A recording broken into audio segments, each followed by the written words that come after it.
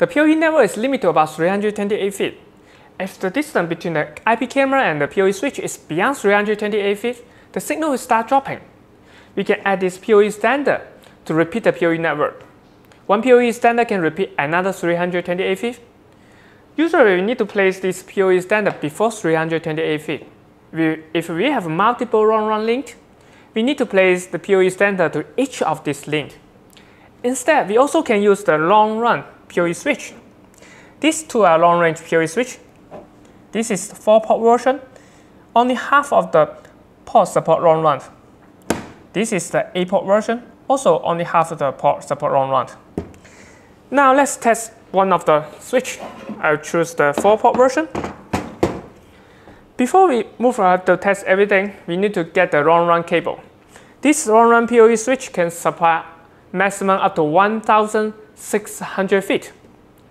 The, the first problem is I cannot get any cable beyond 1,000 feet. So I had to use this coupler. This coupler to chain another pool of cable.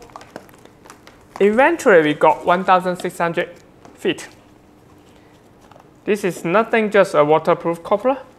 It allowed me to join two cables together to got 1,800, 600 feet. Okay, before we connect everything together, there's one thing I would like to emphasize. It's very important to choose the Cat5 or Cat6 cable which is made of 100% copper because 100% copper can guarantee the power loss will be the minimum. The second thing is about the connector. If you don't have well-made RJ45 network connector, you may lose the signal. But we, we can always test everything test the cable with the whole system before we put the cable in the field. If there's no way you can test the cable, you also can use the short patch cord to link the whole system up. If it's not it's working, then the problem comes from the cable. Okay, now let me power up the switch. I need to use the short patch cord to link the one of the port to the NVR. Now the NVR attached to this PoE switch. This is the long run cable. Let me connect to the port number one, which is supply the long run. Let's move to the camera. From the camera, I also need to use this PoE adapter. You may wonder why we still need the PoE adapter. The camera, the PoE switch can supply long run, but for the, this camera, it's just a regular camera we need to use this PoE adapter to return the signal up to 1,600 feet.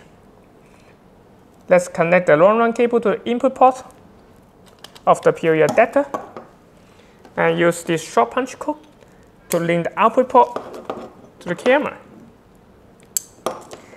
Now let's check the indicator. You can see both indicators on, which means the IP camera is communicating with this long run PoE switch. It will take a while before we can see the live video on the monitor. I think the camera's live now. This is motorized zoom camera. It will take a while to zoom in and zoom out to find the best focus. You just use single long run up to 1,600 feet to supply the PoE from the switch to the camera. There's no need for power source at the camera end. It's pretty nice, right? There's one last thing. Can we also use this system to repeat the only data network, such as this router? The different thing is this is the PoE camera. It needs both power and data. But this is just a router. It doesn't need a PoE. If we place this router to the end of the cable, it will not work because we still need to add this PoE splitter at the end of the cable. Why we need the PoE splitter? Before the PoE switch in the standard PoE system, before it releases the power to the edge, it needs to classify verify edge device is also PoE compatible product. But this is non-PoE equipment. That's the reason why we need to have the PoE splitter to satisfy the power handshaking in the PoE system. Thanks for watching. See you next time.